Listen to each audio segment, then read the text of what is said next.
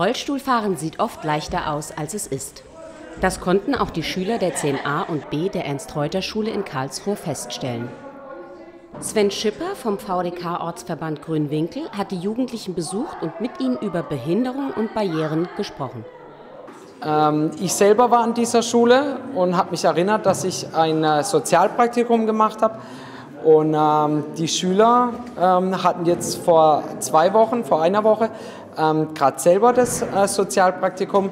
Und da dachte ich mir, wäre es doch einfach wunderbar, wenn man genau in diesem Zuge eines Sozialpraktikums, weil die Schüler dann einfach noch betroffen sind, ähm, wenn man da einfach hingeht und sagt, hier, wir sind auch da, wir helfen und ähm, ihr müsst nur kommen.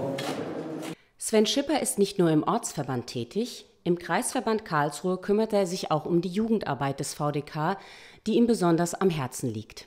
Seit elf Jahren habe ich MS, seit drei Jahren bin ich berufsunfähig und ähm, erwerbsunfähig und engagiere mich, weil ich Zeit habe, engagiere ich mich sehr stark im VDK, weil ähm, ich gern den äh, jungen Schülern der jungen Generation ähm, einfach ähm, das Ehrenamt vermitteln will und einfach den sozialen Gedanken etwas näher bringen will.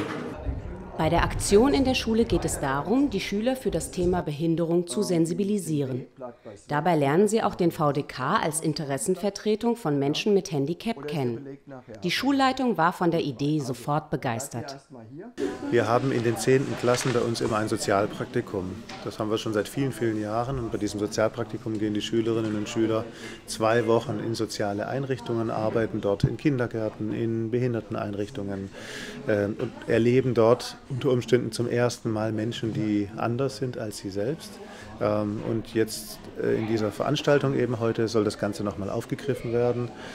Und ich fand das eine ganz tolle Idee, dass man da Erfahrungen machen kann, vor allem praktische Erfahrungen. Und da erhoffe ich mir schon, dass also dieses Sozialpraktikum durch die Veranstaltung heute wirklich nachhaltig auch ähm, ja, unterstützt wird. Auch dem Schulleiter ist es ein besonderes Anliegen, dass die Schüler einen normalen Umgang mit Menschen mit Behinderung erlernen. Also wir haben ähm, zwei inklusiv beschulte Gruppen an unserer Schule seit dem letzten Schuljahr, dieses Schuljahr. Da sind Kinder äh, mit unterschiedlichen Behinderungen, die, die ganz normal in die Klasse gehen und in den Unterricht gehen. Ähm, und das ist schon auch spannend gewesen für uns ein Prozess, weil wir äh, zum Beispiel nicht behindertengerecht sind bisher, also was Rollstuhl Rollstühle beispielsweise betrifft oder körperliche Behinderung betrifft. Und seitdem das Thema ist, hat man schon so einen anderen Blick auch, ähm, auch als Schule, auch als Lehrer und auch die Mitschülerinnen und Mitschüler. Und ähm, sicherlich die Inklusion ist ein, ein Thema, das unsere gesamte Gesellschaft betrifft und auch ein Thema, das natürlich ähm, ein Neudenken erfordert und das ist ein Prozess für alle und in diesem Prozess sind wir auch und ich finde es aber gut, dass wir auf diesen Prozess äh, oder in diesen Prozess gegangen sind und dass wir das Ganze jetzt begleiten. Und los geht's! Statt beim Turnen oder Fußball dürfen sich die Jugendlichen heute mal beim Rollstuhlfahren austoben. Das haben sie Holger Kranz zu verdanken. Mit seiner gemeinnützigen GmbH engagiert er sich schon seit vielen Jahren für den integrativen Sport. Wir haben 150 Schulprojekttage im Jahr in ganz Deutschland, alles ausgerichtet in Richtung Inklusion. Daher schulen wir oft dabei auch gleich an Regelschulen vor allen Dingen sehr häufig. Lehrer, Schwerpunkt ist bei uns nun mal der Sport.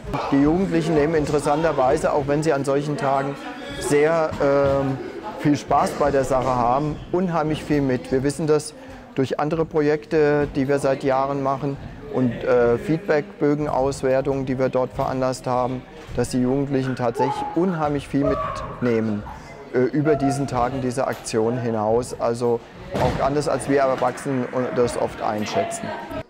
Doch Barrieren gibt es nicht nur für Rollstuhlfahrer. Im Simulationsanzug Gerd erfahren die Schüler, wie es sich anfühlt, alt oder in seiner Bewegungsfreiheit eingeschränkt zu sein. Also es war sehr anstrengend, ich habe auch kaum Luft bekommen. Die ganze Zeit dieses Rumstehen und dieses Gewicht ging halt auch voll auf den Rücken. Wenn ich jemanden in Zukunft mit dem Rollstuhl sehe, ich denke, dann würde ich auf jeden Fall anders darüber denken, weil ich weiß, was der jetzt alles durchmachen muss und ähm, dass es nicht so einfach ist zu rollen oder sich auch zu drehen oder sich mit dem Rollstuhl auch fortzubewegen.